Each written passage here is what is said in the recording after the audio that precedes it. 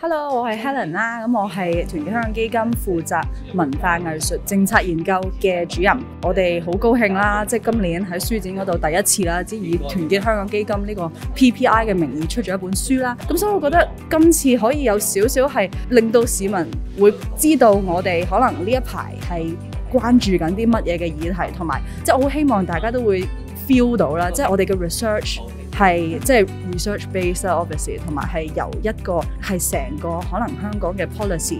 嘅 history 係去睇噶咯。咁因為我哋報告裏邊，即係我哋嗰個章節咧，其實都有包括到可能香港文化政策嘅一個歷史。咁所以你會知道由港英政府啊，回歸之前到回歸之後嗰個發展趨勢。咁希望就令到即係香港大眾市民其實對於未來文化藝術嗰個發展咧，係會一齊去去思考到一個路向咯。